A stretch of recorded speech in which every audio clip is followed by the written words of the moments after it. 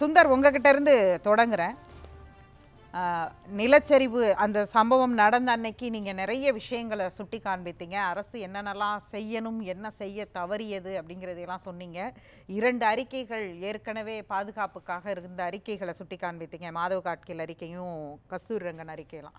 இன்றைக்கு பிரதமருடைய இந்த வருகை இது வந்து தேசிய பேரிடராக அறிவிக்க வேண்டும் அப்படின்னு எதிர்க்கட்சி தலைவருடைய அந்த கோரிக்கையும் இருக்குது இன்னைக்கு ஆலோசனை கூட்டம் நடத்தி இருக்கிறார் பிரதமர். நீங்கள் இதை எப்படி பார்க்குறீங்க? இந்த ஆய்வு இந்த அறிவிப்பு வரும்னு பார்க்குறீங்களா? இல்லை உங்களுடைய மதிப்பீடு என்னவா இருக்கு? நிச்சயமாக தேசிய பேரிடர் அறிவிப்பு வந்து வராது.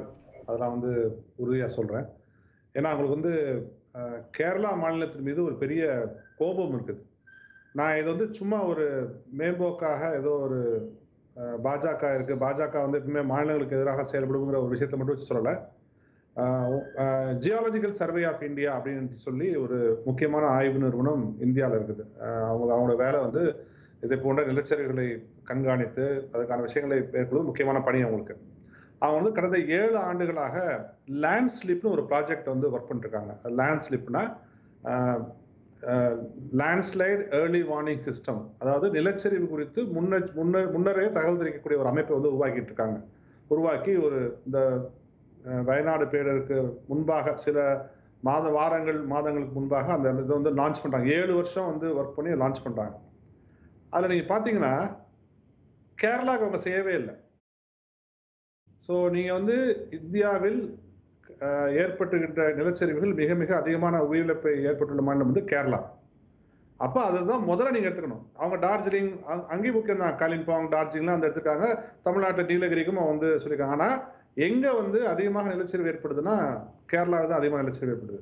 அப்போ அந்த மாநிலத்தில் நீங்கள் லேண்ட்ஸ்லிப்பை ஆக்சுவலி எங்கே ஆரம்பிச்சிருக்கணும்னா ஃபர்ஸ்ட் அங்கே தான் வந்து ஆரம்பிச்சிக்கணும் இப்போ அந்த வயநாடு டிசாஸ்டர் நடந்தப்பறம் என்ன சொல்லியிருக்காங்கன்னா வருகின்ற ரெண்டாயிரத்தி முப்பதாம் ஆண்டுக்குள் நாளைக்கு இல்லை. வருகிற ரெண்டாயிரத்தி முப்பதாம் ஆண்டுக்குள் நாங்கள் இதை இந்தியா முழுவதற்கும் நாங்கள் விரிவுபடுத்த போகிறோம் சொல்லி அந்த ஜிஎஸ்ஐ அமைப்பு வந்து சொல்லியிருக்காங்க.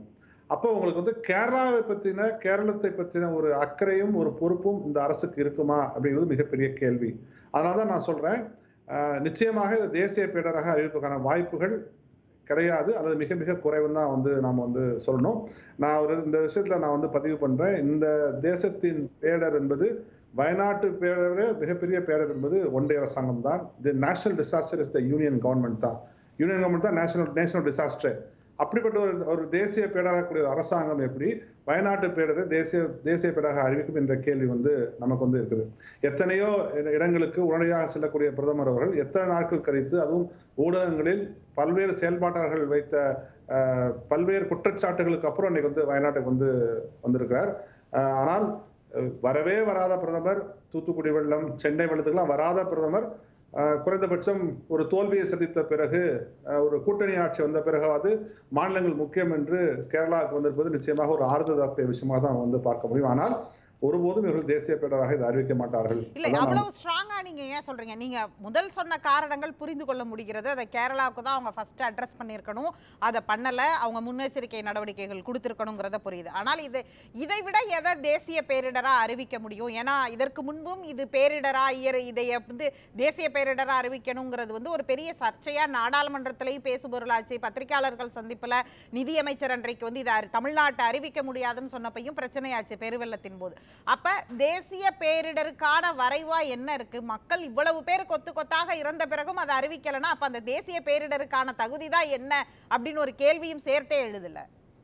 அதாவது ஒரு விஷயத்தை வந்து ஒரு பேரிடர் மேலாண்மை என்பது ஒரு அறிவியல் சரியா? அது ஒரு சயின்ஸ் அதுக்கு பின்னாடி நிறைய ஆஹ், ஆய்வுகள் நிறைய கட்டமைப்புகளை உருவாக்குது பயிற்றுவிப்பது ட்ரைனிங் கொடுக்கணும். இதெல்லாம் வந்து ஒரு நேஷனல் டிசாஸ்டர் மேனேஜ்மெண்ட் ஆக்ட் அல்லது தேசிய பேரிடர் மேலாண்மை சட்டம் சொல்கின்ற விஷயம். அப்போ ஒரு தேசிய பேரிடராக எதை அறிவிக்க வேண்டும் என்ற வரைவுகளை நீங்கள் சட்டத்தின் கீழ் உருவாக்கி இருக்க வேண்டும். நான் உருவாக்கவே இல்லை. ஸோ நீங்கள் வந்து ஒரு தேசிய பேரிடரை அறிவிங்க அப்படின்னு சொன்னாலே சட்டியில் இருந்தால் தானே அகப்பையில் வரும். சட்டியில் இல்லையே. ஒரு தேசிய பேரிடராக எதை அறிவிக்க வேண்டும்? அதுக்கான அதை எப்படி வந்து குவான்டிஃபை பண்ணுறது அதை குவாலிஃபை பண்ணுறது அல்லது எந்த உயிரிழப்புகளை வைத்தா பொருட்சேதத்தை வைத்தா அல்லது பெய்கின்ற மழைப்பொழிவை வைத்தா ஏதாவது ஒரு அளவுகோலில் வந்து நீங்கள் வந்து ஒரு ஒரு ஃப்ரேம் ஒர்க் நீங்கள் செட் பண்ணும்ல. இப்போ இது இதெல்லாம் நடந்துச்சுன்னா நாங்கள் வந்து தேசிய பேரிடராக அறிவிப்போம். அப்போ கூடுதல் நிதியை தருவோம்னு சொல்லி நீங்கள் செட் அதுவே கிடையாது எங்கே see இந்த இந்த இந்த நாட்டோட பெரிய துரதிருஷ்டம் தெரியுமா? நாம் வருமுன் காவாதான் வாழ்க்கை நமக்கு வந்து கிடையாதுங்க. சரியா? போபால் என்கிற மிகப்பெரிய துயரம் நடைபெற்ற பிறகுதான் நாம் சுற்றுச்சூழல் பாதுகாப்பு சட்டமே கொண்டு வந்தோம். சுனாமி என்கிற மிகப்பெரிய பேடர் வந்த பிறகுதான் நாம் பேடர் மேலாண்மை சட்டமே கொண்டு வந்தோம். ஸோ இந்த இந்த நாட்டோட பெரிய சாபக்கேடு என்பது ஒரு வருமுன் காவாதான் என்பதெல்லாம் கிடையவே கிடையாது. சரி வந்த பிறகாவது பார்ப்பீங்களான்னு கேட்டால் அதுவும் கிடையாது. நம்ம நாங்கள் ஆக்ட் கொண்டு வருவோம் ரூல்ஸ் கொண்டு வருவோம். ஆனால் அதுக்கான ஃப்ரேம் ஒர்க் போட மாட்டோம் அதை அறிவிக்க மாட்டோம். நினைத்தபடி எங்களுக்கு எது தோன்றுதோ அதை மட்டும் தான் நாங்கள் செய்வோம். எங்களுக்கு எது சரின்னு தருதோ அதை மட்டும் தான் நாங்கள் செய்வோம் என்று தாண்டோண்டித்தனமாக செய்யக்கூடிய ஒரு ஒன்றிய அரசாங்கம். நீங்கள் எப்படி வந்து இதை வந்து தேசிய பேராக அறிவிப்பாங்கன்னு நினைக்கிறீங்க? அதுவும் ராஜ் ராகுல் காந்தி அவர்களோட தொகுதி அது.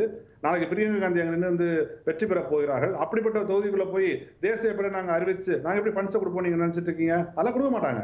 ஸோ எந்த பொலிட்டிக்கல் ரீசன் கிடையாது. சயின்டிஃபிக் அண்டர்ஸ்டாண்டிங் கிடையாது. எதை தேசிய பேடாக அறிவிக்க வேண்டும் என்கிற ஃப்ரேம் ஒர்க்கே உங்களுக்கு வந்து கிடையாது. அது அதுக்கான சாஸ்திரமே அவங்களுக்கு இருந்து கிடையாது. அப்போ ஒரு பேசிக் ஃப்ரேம் ஒர்க் இருந்தால் தானே அந்த அந்த ஃப்ரேம் ஒர்க்கில் கிரைட்டீரியா தான் அதாவது கண்டிஷன்ஸ்லாம் அந்த தேசிய பேரை மீட் பண்ணுதா? இந்த டிசாஸ்டர் மீட் பண்ணுதா? ஓகே பத்துல ஏழு மீட் பண்ணுது. சப்ப தேசிய பேராக அறிவிக்கலாம். அப்படின்னு ஒரு ஏதாவது ஒரு ஃப்ரேம் ஒர்க்கோ ஒரு கண்டிஷன்ஸோ இருந்தால் தானே செய்வீங்க. தேசிய பேரராக எப்படி அறிவிக்க வேண்டும் என்கிற ஃப்ரேம் ஒர்க்கே இல்லாத ஒரு அரசாங்கத்திட்ட போய் தேசிய பேரர் அறிவிங்க அறிவிங்கன்னு சொன்னா என்னத்தை அறிவிப்பாங்க? ஒண்ணுமே கிடையாது அவங்க கிட்ட இல்ல ஒரு பக்கம் வந்து இதுக்காக தேசிய பேரிடர் மேலாண்மைக்குன்னு ஒதுக்கப்படுகிற நிதி இன்னொரு பக்கம் அதில் ரெண்டு வி- விதமாக பார்க்க வேண்டியதாக இருக்குது நமக்கு இழப்பீடு தடுப்பு நடவடிக்கை ரெண்டு விஷயத்தையும் பார்க்க வேண்டியதாக இருக்குது தடுப்பு நடவடிக்கைங்கும் போது முன்னெச்சரிக்கை அதற்கு நம்மளுடைய ரிசர்ச் அதை தாண்டி நாம் அதுக்கான டெக்னாலஜி அப்கிரடேஷன் இதெல்லாம் அதற்குள்ளே வரும். அதற்காகவது இந்த நிலச்சரிவுக்கு பிறகு ஏன்னா இரண்டு நாட்களுக்கு அதன் பிறகு நடந்த இந்த ஒரு வார கால பார்லிமெண்ட் மீட்டிங்கில் அப்படி அப்கிரடேஷனை குறித்து எதுவும் எந்த அறிவிப்புகளும் வரல. ஒருவேளை பிரதமர் பார்த்துவிட்டு போன பிறகாது இனிமேலுக்கு நாம் வந்து இந்த மாதிரி வல்னரபிள் ஜோன்ஸை அட்வான்ஸ்டாக நம்ம வந்து இதை ஐடென்டிஃபை பண்ணுற மாதிரியான ஏதாவது ஒரு புதிய திட்டங்கள் அல்லது இந்த மாதிரியான ஒரு தொலைநோக்கு பார்வையில் அப்கிரடேஷன் சிஸ்டம்ஸை கொண்டு வருவதற்கு வாய்ப்பு இருக்குன்னு பார்க்குறீங்களா? உங்களோட ஆசை நிறைவேறும் என்று நான் வந்து கோரிக்கை வைக்கிறேன். ஒரு தரவுக்காக சொல்கிறேன் இந்தியாவில் உள்ள மாவட்டங்களில் எண்பத்தி நாலு சதவீத மாவட்டங்கள் எக்ஸ்ட்ரீம் ஈவெண்ட்ஸை ஃபேஸ் பண்ணுது. ஒன்று அல்ல எண்பத்தி நாலு சதவீதமான மாவட்டங்கள் எக்ஸ்ட்ரீம் ஈவெண்ட்ஸை ஃபேஸ் பண்ணுது. நீங்கள் வந்து சாதாரண டேட்டா இல்லது அதாவது எண்பத்தி நாலு சதமான மாநில மாவட்ட மாநில சாரி மாவட்டங்கள் மாநிலங்களில் மாவட்டங்கள் வந்து எக்ஸ்ட்ரீம் ஈவெண்ட்ஸ் வந்து ஃபேஸ் பண்ணுது. அதில் நீங்கள் பார்த்தீங்கன்னா எழுபது சதவீதமான மாவட்டங்கள் வந்து அதிதீவிர மழைப்பொழிவு வந்து சந்திக்குது. இது வந்து புள்ளிவரம் வந்து அரசும் பல்வேறு நிறுவனங்களும் ஆய்வு செய்து கொடுத்துருக்கின்ற புள்ளிவரம் தான். இன்னும் சில ஆண்டுகளில் பத்தில் எட்டு பேர் ஒரு பேரரை சந்தித்துக் கொண்டே இருப்பார்கள். Eight out of ten will face extreme events இதுதான் இந்தியாவின் அதாவது அதிதீவிர கன கனமழையோ வெப்ப அலைகளோ நிலச்சரிவுகளோ ஏற்படும் என்பதை திட்டவட்டமாக சொல்லக்கூடிய ஒரு ஆய்வறிக்கை தான் நான் சொல்கிற டேட்டா ஸோ இந்த இந்த டேட்டா வந்து உங்களுக்கு சடனாக வந்துடல. இந்த டேட்டா வந்து தொண்ணூற்றி மூணுலேருந்து எடுத்து ரெண்டாயிரத்தி இருபத்தி ரெண்டு வரைக்கும் உள்ள டேட்டா எடுத்து அனலைஸ் பண்ணி தான் வந்து இந்த புள்ளிவரத்தை வந்து போட்டிருக்காங்க.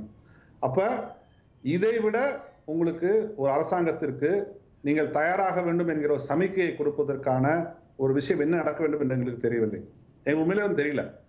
வேற என்ன வேணும் உங்களுக்கு? எத்தனை பேர் நாங்கள் உயிரை கொடுத்து அல்லது உயிரை காவு கொடுத்து அல்லது அது மர மரணித்து போய் நீங்கள் அது அறிவியல் பூர்வமாக அணுவி இதை போன்ற ஏர்லி வார்னிங் சிஸ்டம்ஸ் அல்லது இன்னும் பல விஷயங்களை நீங்கள் செய்வீர்கள் என்ற கேள்வியை தான் மக்கள் மக்கள் வந்து இன்னைக்கு வந்து நினைச்சிட்டு இருக்காங்க ஸோ இன்னும் என்ன எவ்வளவு நாங்கள் இழந்தால் நீங்கள் அறிவியல் பூர்வமாக இன்னைக்கு ஏன் வந்து அந்த தேசிய பேரராக அறிவிக்கிறதுக்கான ஒரு கட்டமைப்புகளை உருவாக்க உருவாக்கலன்னு தெரியுமா உங்களுக்கு? ஃப்ரேம் ஒர்க் ஏன் பண்ணல? நீங்கள் ஃப்ரேம் ஒர்க் பண்ணினா நமக்கு வந்து கேள்வி கேட்க முடியும். எப்போ அந்த ஃப்ரேம் ஒர்க் படி இத்தனை இவ்வளோ நடந்துச்சுன்னா நீங்கள் தேசிய பேட அறிவிப்பீங்கன்னு சொல்லியிருக்கீங்களே ஏன் அது அறிவிக்கலன்னு கேட்க முடியும்? சரியா? அது ஃப்ரேம் ஒர்க் ஃபார்ம் பண்ணாத காரணமே டிஸ்கிரிப்ஷன் என்கிட்ட இருக்கும். நான் யாருக்கு நினைக்கிறேனோ எந்த மாநிலத்தில் நினைக்கிறனோ எந்த பகுதிக்கு நினைக்கிறனோ அதை கொடுக்கக்கூடிய உரிமை என்னிடம் வந்துவிடும் என்னிடம் மட்டும்தான் இருக்கும். ஒரு அறிவியல் பூர்வமாக ஒரு ஃப்ரேம் ஒர்க்கை நீங்கள் உருவாக்கிட்டீங்கன்னா பொதுமக்கள் சாதாரண மக்கள் செயல்பாட்டாளர்கள் குடிமைச்சம் அமைப்புகள் எல்லாம் சேர்ந்து நீங்க ஒரு ஃப்ரேம் வச்சிருக்கீங்க. அந்த ஃப்ரேம் ஒர்க்குக்கு இந்த கேரளா டிசாஸ்டர் வந்து மேட்ச் ஆகுது. என் ஃப்ரேம் ஒர்க் படி மேட்ச் ஆன பிறகு ஏன் நீங்கள் தேசிய பேராக அறிவிக்கவில்லைங்கிற கேட்க முடியும் இல்லையா? அந்த கேள்வி நீங்கள் கேட்கக்கூடாதுக்காக நாங்கள் ஃப்ரேம் ஒர்க்கே செட் பண்ணாமல் இருக்கோம். ஒன்றே வருஷம் ஏன் ஃப்ரேம் ஒர்க் செட் பண்ணேன்னா நீங்கள் ஃப்ரேம் ஒர்க் செட் பண்ணி நீங்கள் கேள்வி கேட்பீங்க. இன்னைக்கு டிஸ்கிரிப்ஷன் ஏன் கிட்ட இருக்கு? நீங்க கெஞ்சுறீங்கல்ல பிரதமரே. நீங்க எங்களுக்கு வந்து தேசிய பேராக அறிவிங்க. எங்களுக்கு கூட கொஞ்சம் காசு கொடுங்க கெஞ்சுறோம்ல கதறோம்ல. அந்த கெஞ்சையும் கதறலையும் அவர்கள் ரசிக்கிறார்கள். அவர் உண்மையிலே வந்து நான் வந்து நான் கு- குற்றச்சாட்டை சொல்றேன். இந்த அரசுக்கான ரெஸ்பான்சிபிலிட்டின்னு இருக்குல்ல அது அதீத விமர்சனம் இல்லையா? அரசு வந்து எப்படி ரசிக்கும்? இப்படி வந்து ஒரு மாநிலத்துல அவங்களுடைய ஆட்சியில அவங்களுக்கு கீழே இருக்கக்கூடிய ஒரு பொறுப்புல இருக்கக்கூடிய இடத்துல வந்து கொத்து கொத்தாக மக்கள் மண்ணுக்குள் புதைந்து இறந்து பார்ட்ஸ் பார்ட்ஸா பாடிகளை பார்க்கிறோம். அன்ஐடென்டிஃபைடு பாடிஸா இன்னும் பார்ட்ஸஸ் பாடி கூட இல்ல பார்ட்ஸஸ் வந்து மருத்துவமனைகள்ல இன்னும் வச்சிருக்கிறாங்க. இதை விட ஒரு பெரிய கொடூரமான நிகழ்வு ஓரிரவுல நடந்திருக்காதுங்கிறது மாதிரி ஒரு தசாப்தத்தில் நம்ம பார்க்குறோம். இதையெல்லாம் தாண்டியும் நம்ம அதை மக் மத்திய அரசு பார்த்து கொண்டு வேடிக்கை பார்க்கிறதுன்னு ஒற்றை வரியில் அதை நம்ம வைக்கிற விமர்சனமாக வச்சிட முடியுமா? சரி முதல் கட்டத்தில் ஒரு ஐநூறு கோடி கொடுத்துருக்கலாம்ல. இப்போ நேஷனல் டிசாஸ்ட்லாம் அப்புறம் பார்த்துக்கலாம்ப்பா. அது தேசிய பேடரா இல்லையா பார்த்துக்கலாம்ப்பா. இந்தாப்பா ஒரு ஆயிரம் கோடி நாங்கள் தர்றோம்ப்பா. இல்லை ஐநூறு கோடி தரப்பான்னு சொல்லிச்சு அரசாங்கம் இது வரைக்கும். ஒன்றிய அரசாங்கம் சொல்லியிருக்காது வரைக்கும். நீங்கள் நடந்து முடிஞ்சு எத்தனை நாள் ஆச்சு? எத்தனை பிணங்களை மீட்க முடியாமல் நான் விட்டுட்டு உட்காந்துருக்கோம் அதை ஒன்றிய அரசாங்கம் சொல்லுச்சா? சரி அது நேஷனல் டிசாஸ்டர் நாங்கள் சென்ட்ரல் குழு அனுப்புகிறோம் அவங்களாம் வந்து ஆய்வு பண்ணுறோம் அதெல்லாம் இருக்கட்டும் அதெல்லாம் அப்புறம் பார்த்துக்குவோம் இந்த முதல் கட்டமாக நீ இதை பிடிச்சிக்கோ நீ. நீ ஏதோ மக்களுக்கு வந்து செய்தி செய்து கொடுத்துருக்காங்களா? கொடுக்கல அப்புறம் நீங்கள் எப்படி வந்து ஒன்றிய அரசாங்கம் வந்து நான் இப்போ குற்றச்சாட்டு வைக்கிறேன்னு வந்து சொல்ல முடியும்? நான் என்ன சொல்கிறேன்னா இப்படிப்பட்ட துயரம் நடந்தது நிச்சயமாக அவர்கள் கவலை இருக்கலாம். அது மறுக்கல. ஆனால் மாநில அரசுகளை தங்கள் காலில் வைத்துக் கொள்ள வேண்டும் என்ற நோக்கம் இருக்குல்ல எண்ணம் இருக்குல்ல அதை தான் நான் வந்து சொல்கிறேன் மாநில அரசுகள் தங்களும் கெஞ்ச வேண்டும் கதற வேண்டும். நீங்க வந்து எனக்கு கெஞ்சு? நீ எனக்கு ஓட்டு போடல இந்த புள்ளியில தான் நேற்றைக்கு திமுக மாநிலங்களவை உறுப்பினர் வில்சன் வந்து ஒரு தனிநபர் மசோதாவை தாக்கல் செய்திருக்கிறார். பேரிடர் மேலாண்மை அந்த மசோதாவில் திருத்தம் கொண்டு வரணும் அப்படிங்கிறது அதாவது அனைத்து மாநில பிரதிநிதிகளும் இருக்கணும். அந்த பேரிடர் மேலாண்மை ஆணையம் அமைக்கப்பட்டு அதுல இருக்கணும். அதன் மூலமாக முடிவுகள் எடுக்கப்பட்டு நிவாரண நிதிகள் ஒதுக்கப்படணும் முன்னெச்சரிக்கை நடவடிக்கைகள் கொடுக்கப்படணும் அப்படிங்கிற மெஷர்மெண்ட்களை எல்லாம் உள்ளடக்கிய ஒரு மசோதாவாக அவர் வைத்திருக்கிறார். இதை எப்படி பார்க்கும் அரசு? ஏற்கனவே ரெண்டாயிரத்தி பதினஞ்சில் சென்னை பெருவெள்ளத்தில் எனக்கு நினைவிருக்கிறது நாம் ரெண்டு பேருமே விவாதத்தில் பேசியிருக்கோம். ஏற்கனவே இருக்கிற தேசிய பேரிடர் மேலாண்மைக்கு ஒரு கமிட்டி இருக்கணும். அந்தந்த மாநில அரசின் கீழேயே ஒன்று ஃபார்ம் பண்ணணும் ஃப்ரேம் பண்ணணும். நீங்கள் அப்போது ஒன்று தற்காலிகமாக ஒன்று ஃப்ரேம் ஒர்க்கெல்லாம் நடந்தது அன்றைக்கு. இப்போ அதோடைய நிலைமை என்ன? ம- மாநிலங்கள் அளவுல இதை பிரதிநிதிகள் உள்ளடக்கிய ஆணையம் உருவாக்கப்படுறதுங்கிறது எந்த அளவுக்கு முக்கியமானது? நிச்சயமாக வில்சன் அவருடைய கோரிக்கை நிறைவேற்ற நிறைவேற வேண்டும் என்கிற ஒரு விஷயத்தை சொல்லிட்டு நான் இன்னொரு இதை சொல்றேன். ஒன்றிய அரசாங்கம் இப்போ வந்து தேசிய பேரிடர் மேலாண்மை சட்டத்தில் ஒரு திருத்தம் கொண்டு வராங்க. இந்த திருத்தம் இன்னும் வெளியே வந்து வரல. சில தரவுகளை ஆக்சஸ் பண்ணி நான் வந்து இதை சொல்றேன். ஒட்டுமொத்த பேரிடர் மேலாண்மையும் அவங்க எடுத்துக்க போறாங்க. அந்த குழு என்ன செய்வது என்பதை ஒன்றிய அரசாங்கம் எடுத்துக்க போகுது. அது மட்டுமல்ல இந்த பேடு நடந்த பிறகு இந்த ஆய்வாளர்கள்லாம் போய் ஆய்வு பண்ணி சொல்கிறாங்கல்ல அதுக்கெல்லாம் முழு தடை. தடை இதெல்லாம். யாரும் போகக்கூடாது ஆனால் நாங்கள் பார்த்துக்குறோம் நாங்கள் நாங்கள் எங்கள் சயின்டிஃபிக் எஸ்டாப்ளிஷ் வச்சு நாங்கள் பார்த்துக்குறோம் அப்படின்னு சொல்லி சட்டத்தை திருத்தம் கொண்டு வராங்க. நீங்கள் நாம் வந்து திரு வில்சன் அவர்கள் நல்ல எண்ணத்தோட அந்த ஒரு திருத்தத்தை கோரி தாக்கல் பண்ணால் கூட அவர் என்ன மாதிரி செஞ்சிருக்காங்கன்னா உங்களுக்கு எந்த பவர்ஸும் கிடையாதுப்பா. நாங்கள் எல்லாத்தையும் நாங்கள் பார்த்துக்குறோம் நாங்கள் வந்து எல்லா டேட்டாவும் நாங்கள் பார்த்துக்குறோம் ஒரு பேரிடர் மேலாண்மை நாங்கள் பார்த்துக்குறோம் அதுக்கான கல்வியை நாங்கள் கொடுத்துக்குறோம். எல்லாத்தையும் நாங்கள் பார்த்துக்கொள்கிறோம் நீங்கள் எதுவும் தலையிட வேணாங்கிற முடிவுக்கு வந்து ஒன்றிய அரசாங்கம் வந்து ஒரு சட்ட திருத்தத்தை வந்து கொண்டு வர போகிறாங்க சில டேட்டாவை நாங்கள் ஆக்சஸ் பண்ணி தான் அந்த விஷயத்தை வந்து நான் வந்து சொல்கிறேன் அப்போ இருப்பதை விட இன்னும் சென்ட்ரலைஸ் பண்ணுவதற்காக நோக்கமாக தான் வந்து ஒன்றிய அரசாங்கம் போதே ஒழிய நீங்கள் எதுவுமே செய்ய வேண்டாங்க. எங்களுக்குரிய பணத்தை நாங்கள் கொடுத்துருங்க மாநிலத்துக்கு உரிய பணத்தை நீங்கள் கொடுத்து விடுங்கள். அல்லது அல்லது நீங்கள் எப்போ நான் நான் நீங்கள் வசூல் படிக்கோங்கப்பா நாங்கள் ஜிஎஸ்டிக்குள்ளே நீங்கள் குறைஞ்ச குறைஞ்சபட்சம் சொல்லுங்க. அந்தந்த மாநிலங்கள் வந்து பார்த்துக்கோம் நாங்கள் வசூல் பண்ணி நாங்கள் உங்களுக்கு தர்றோம். நீங்கள் வந்து எக்ஸ்டர்னல் அஃபேர்ஸ்க்கா மிலிட்ரிக்கா ரயில்வேக்கா மாநிலங்கள் தரட்டும். நீங்கள் எல்லா வரையும் மாநிலங்கள் பெற்றுக்கொள்ளட்டும் மாநிலங்கள் ஒன்றிய அரசாங்கத்துக்கு வந்து அவருடைய மக்கள் தொகையின் கண அடிப்படையிலோ ஏதோ ஒரு கணக்குல ஒரு ஒரு வர- ஒரு மணி நேர சப்ஜெக்ட சுந்தரராஜன் ஒத்த வரியில இப்படி சொல்றாரே நான் எப்படி இதை வந்து அடுத்த டிபேட்டை நான் கட்டமைக்கிறதுன்னு இப்படி நிலை உடைஞ்சு போயிருக்கேன் சுந்தர். இது ரொம்ப முக்கியமான ஒரு விவாதத்தை முன்வைக்கிறீங்க பேசுவோம். நீங்க நீங்க தேசிய பேரை அறிவிச்சு நீங்க வேணாம். எங்கிட்ட விட்டுருங்க. எங்களுக்கு கொடுத்துருங்க. நாங்க பாத்துக்கிறோம்னு சொல்றோம். அவ்வளவுதான். பேசலாம் சுந்தர்.